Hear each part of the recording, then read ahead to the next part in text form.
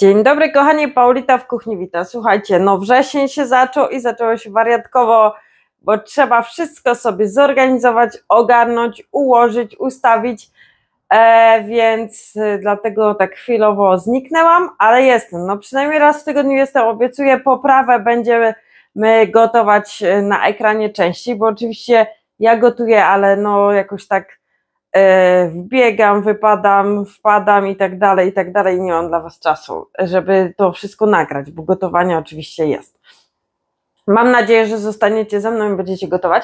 Słuchajcie, e, a propos promocji mamy we wrześniu, ale to jest bardzo okrojona e, promocja, więc jeśli ktoś ma ochotę, bo e, jest bardzo, bardzo mało sztuk, E, mamy Thermomix, znowu z naczyniem miksującym, e, z szatkownicą i do tego jeszcze voucher za 250 zł do sklepu, gdzie możecie zakupić sobie akcesoria właśnie do Thermomixa.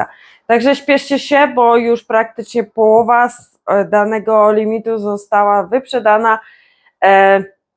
Nie wiem jak będzie dalej, ale dobra, dla tych, co już mają Thermomix albo się zastanawiają, albo mają inne urządzenia, polecam dzisiaj ciasto. No bo jak so, sobota, widzicie, Widzicie, dzisiaj jest sobota, więc ja to nagrywam sobotę, jest ciemno już na dworze, ale wy to zobaczycie w niedzielę.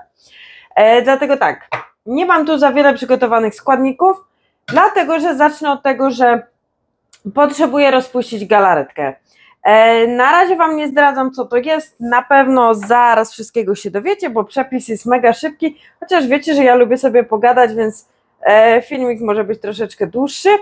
Ale tak, zaczynamy od tego, że e, robimy galaretkę. Robimy galaretkę, ja tu mam truskawkową, może być jakakolwiek chcecie. E, jak się dowiecie, co tam się dodaje, możecie sobie dobrać to, e, tą galaretkę do swojego smaku, bo to też zależy od tego, jakie będą owoce. No i widzicie, już Wam zdradziłam część składników, bo będą owoce, jest galaretka, czyli to tak, do 100 gramów e, wody Wlewamy, wsypujemy naszą galaretkę, musimy ją dobrze wymieszać. Jak już wymieszam, powiem Wam co dalej. Dobra, słuchajcie, przygotowałam sobie składniki i teraz tak, e, ile ich potrzebuję, niech pomyślę. Galaretka, woda, e, śmietana 30, mascarpone, cukier, puder i gofry. Gotowe gofry. Ja wiem, że Wy tu zaraz będziecie na mnie krzyczeć, bo oczywiście można sobie e, zrobić gofry, ale ja Wam mówię, ja teraz mam taki ciężki okres, dochodzę do siebie po chorobie, do tego zmiany, zmiany w moim życiu, e, tu szkoła, tu dziecięce treningi, tu zebranie i tak dalej, więc e, skorzystam z gotowych gofrów kupionych w sklepie. Ale jak to wszystko połączyć? Trochę będzie, przy... a nie, i jeszcze owoce, no właśnie.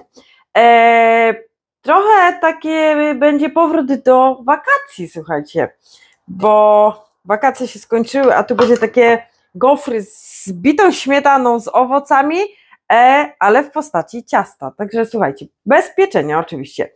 E, no i teraz tak, lejemy kremówkę, znaczy kremówkę śmietanę 30 albo 36, jak tam sobie wolicie. Ja tu użyję dużo, bo ja użyję dwie, bo oczywiście mam kogo częstować. Dwie po 330 ml. No i do tego dwa serki mascarpone, czyli 500 razem no to zobaczcie, ile w sumie tego mamy, ale mówię, jest dużo osób chętnych. O, zakładamy motylek. Zapomniałam o motylku, bo przecież motylek do śmietany fajnie się ubija. No i dobra, teraz tak. Pierwsze zakładam sobie miarkę, żeby to nie chlapało. Czasu nie ustawiamy, bo jak już wiecie, nie ustawiamy przy śmietanie, bo każda śmietana ubija się inaczej. E, no i tutaj przy motylku maksymalnie obroty 4, czyli tak, ubija się śmietana, będziemy zaraz dodawać resztę składników. Także ja tu się jeszcze ogarniam i powiem Wam co dalej. Moja śmietana ubijała się 2 minuty i 46 sekund, ale słuchajcie, ja nie dopuszczam do tego, żeby ona się całkiem ubiła, dlatego że muszę dodać jeszcze, a, co ja robię, dlatego że muszę dodać jeszcze e, to mascarpone, do tego muszę dodać jeszcze łyżkę cukru, pudru i tą galaretkę, która się już troszeczkę wystudziła. Także nie dopuśćcie do tego, żeby śmietana była bardzo mocno ubita, no bo Wam się przebije i wtedy niestety powstanie masło. Ale pamiętajcie, masło też można użyć do ciasta, dopóki nie dodaliście nic słodkiego, to jest wszystko w porządku. Dobra, czyli odpalamy kolejne ubijanie, do tego dodając pomału mascarpone. Już Wam pokazuję, jak wygląda mój krem, chociaż jeszcze nie dodałam ani galaretki, ani nie dodałam cukru. Zobaczcie, tak wygląda ubita śmietana. Z mascarpone, oczywiście wiadomo, że e, z mascarpone ona będzie bardziej ubita niż e, sama śmietana, dlatego już wiem, że muszę tak w miarę szybko się śpieszyć i dodam tak łyżkę, obroty 3, nawet zmniejszę sobie do 2, no dwa nie chcę ruszyć, ruszył. E, jedną łyżkę cukru pudru, tak żeby jednak było coś tam słodko.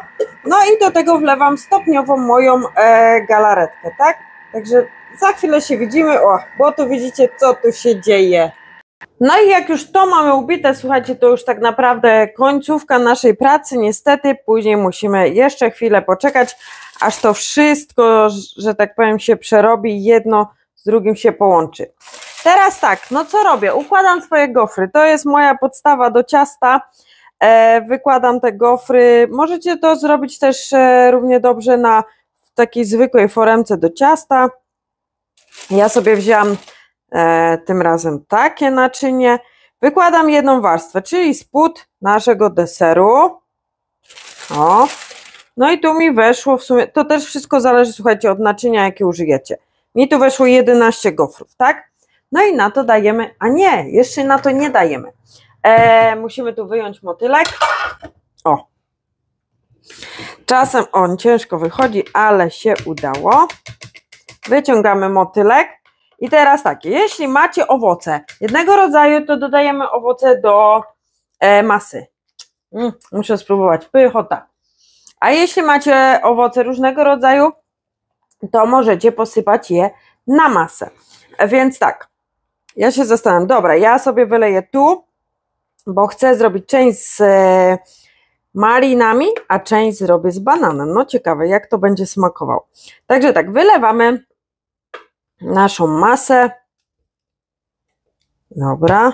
Mm, powiem Wam, że to jest pochota. Dobra, ja sobie tutaj rozłożę i zaraz do Was wracam.